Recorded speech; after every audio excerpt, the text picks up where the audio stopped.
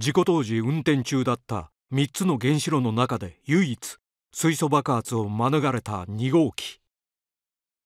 えー、これ今2号機の真横に来ています、はいはい、まあ、2号機あの建屋壊れてないんで、はい、あのこの中で一番まあ綺麗に見えますよね。いかがですか？一つだけやるのは見た目がどうだかっていうよりは、えー、やっぱりそこにやっぱり数値があることを踏まえて、はいはい、現場を見なきゃいけないと思うので。なるほど、なるほど。これは3年前に撮影された2号機の格納容器内の映像。外観とは異なり中は大きく損傷している。床には至る所に茶色の堆積物が。これが廃炉作業の最大の難題とされる核燃料デブリと見られている。核燃料デブリとは原子炉内部の燃料が溶けさまざまな構造物と混じりながら冷えて固まったもの。強い放射線を出すためロボットで近づくことも容易ではない。デブリの姿が捉えられたのは事故から7年後の2018年。2019年には初めてデブリを持ち上げることができた。このデブリが1号機から3号機に800トンから900トンほどあると見られている。中の状況がどうなってるかっていうのは割ともう完全に把握できてるやっぱり未知の部分ってやっぱあるんです2号機のデブリの様子が下に堆積している様子は分かってはいるんですけれどもじゃあ逆に圧力容器の中にあるデブリはどうかっていうとまだどの号機も分からないんですね。このデブリをどのように取り出すのか。我々が向かったのは2号機から北に1キロほど離れた5号機。今5号機の原子炉建屋の中に入ったところですね。ここ今原子炉建屋の中に先ほど入りました、はい、あのこれ5号機って2号機と同型炉ですので、えー、同じ設備があります、はい、あの日定期点検で運転を停止していた5号機。2号機と同じ構造をしているためデブリ取り出しの作業の実物大の研究施設になっている。今ここで検討されているのは格納容器内のデブリを取り出す気中工法という方法。本来メンテナンスの機材を出し入れする貫通口の蓋を開けそこにロボットアームを入れる。遠隔操作で格納容器にあるデブリを取り出していくやり方だ。ロボットが入ってる貫通口がその先にありますのでそこをちょっとご覧をいただきたいと思います。今ちょっとシートがかぶってますけどここにですねこう扉のような形でハッチがあります、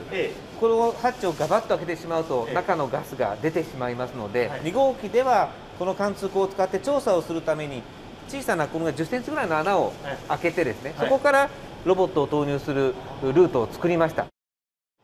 2号機と同じ構造の5号機の格納容器へ、えー、ここから先なんですがここがですねこの5号機の格納容器の入り口ということになります。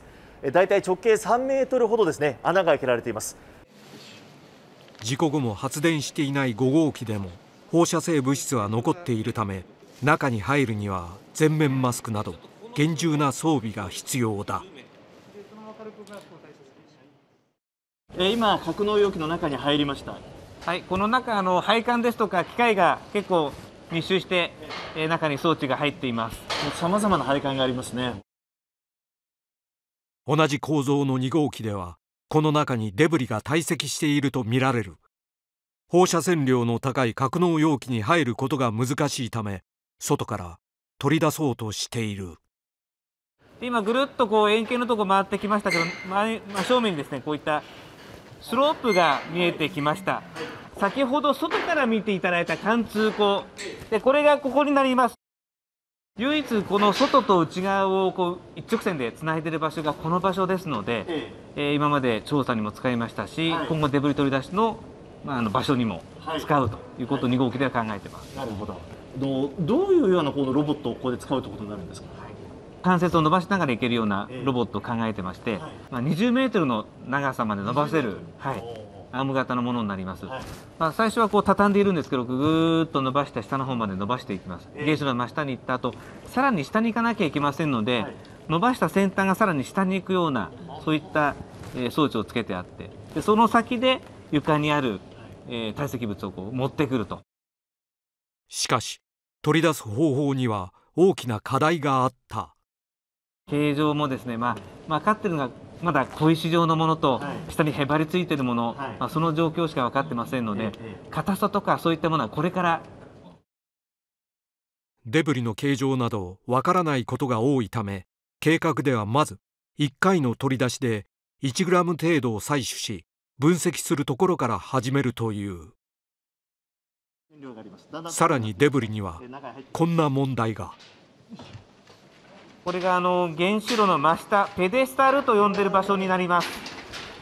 えー、っと今原子炉の真下に来ました。この圧力容器の真下ってことですかこれ？そうです。すごいたくさんこう突起物が出てるんですけれども、はい、これはそれぞれ何なんでしょうか？これあの原子炉を運転しているときに中性子の量を測る中性子の計測器のケーブルになります、はい、この白いこの構造物はその下の部分を支えてる支えの構造物ですね。でこの上に制御棒をですね上げ下げするための、え制御棒駆動機構というのが下の部分があります。漏れ出した核燃料はステンレス製の足場や計測器などさまざまな装置を溶かし混ざり合ったと見られているそのためどこにどんな形状のデブリがあるのか把握するのが難しいという全国の原発を何度も取材している真山も圧力容器の真下に来るのは初めてだ。だからでもこんな硬いものがねその落ちたり、この辺が多分いろいろなってるっていうのはやっぱりどれだけすごい熱で、はい、でまあ、しかもそ全部がバシャンってならないところが厄介なんだと思うんですよね、部分的に密になってるみたいな。そうですよ、ね、だからやっぱりそういう意味ではなんかもうさっきからずっとここでなんか見えてるなって感じがすごいして、はいはい。えこの急な階段を降りていくと格納容器の一番底の部分につながっているということです、えこれから降りていきます。この配管がですねあちこち出てましてこういう狭いところを入っていきます。ここがデブリが溜まっているとみられる格納容器の最下層だ。